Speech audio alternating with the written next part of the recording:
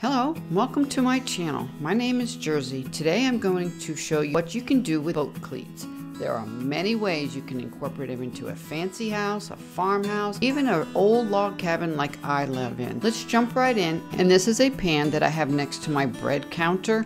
I always take it off of the wall, put it on the counter, then I put my eggshells on it, I put my spoons on it, whatever I'm working with, it saves cleaning the marble counter later. And moving on to the bedroom, this is one of many boat cleats that I use. This particular one houses a long picture.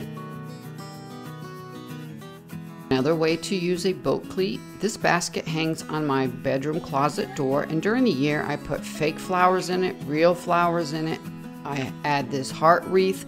This one I put for Valentine's Day or our anniversary. I have another wreath that I interchange on that one particular hook. Right now that sign is on that hook. It's very versatile. And another way I use it in my bedroom is to wrap the shade cord around it. And then when I want to open it, and I just wrap it around. That's simple, and I have one on my side of the bed too. In the soap lab, I have one hanging on the wall that houses my porcelain bucket. That's what I use to get the clean filtered water from the Berkey to make my soaps with each day. This one hangs in my laundry room for lost socks. As you can see, it is black. You can paint these with spray paint. Very, very easy to adapt to whatever room decor color you would like.